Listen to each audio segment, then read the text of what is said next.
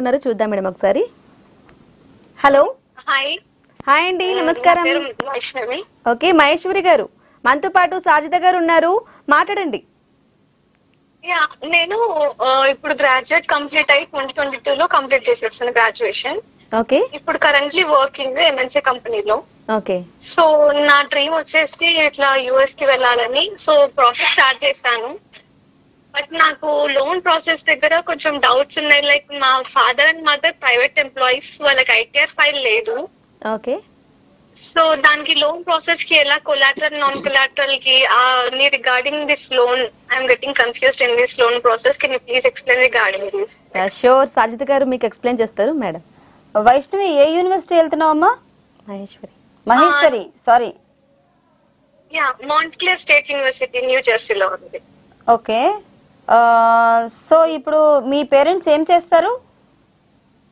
మా mummy private school teacher daddy బిజినెస్లో ఉన్నారు. మమ్మీకి ఎంత salary?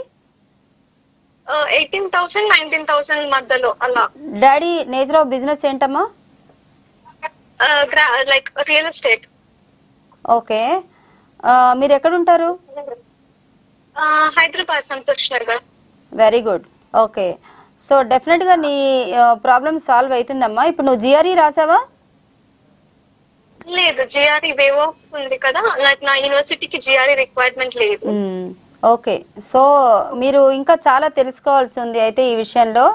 జనరల్గా మీకు జిఆర్ఈ ఉండాలమ్మా. జిఆర్ఈ ఉంది అది యూనివర్సిటీకి వేవ్ ఆఫ్ ఉంటుంది కానీ నీకు ఫర్దర్ ఏదైతే నీకు ఫ్యూచర్ బెనిఫిట్స్ రాబోతున్నాయో తర్వాత యూనివర్సిటీ నుంచి నీకు స్కాలర్షిప్ వస్తుందా సెన్ నీకు స్టేట్ గవర్నమెంట్ నుంచి ఓవర్సీస్ స్కాలర్షిప్ వస్తుందా దీనికి GRE is mandatory okay suppose నువ్వు జిఆర్ఈలో త్రీ టెన్ ప్లస్ తెచ్చుకున్నావు అంటే నీకు బ్యాంకర్స్ కూడా పేరెంట్ ప్రొఫైల్ అంతగా చూడరు.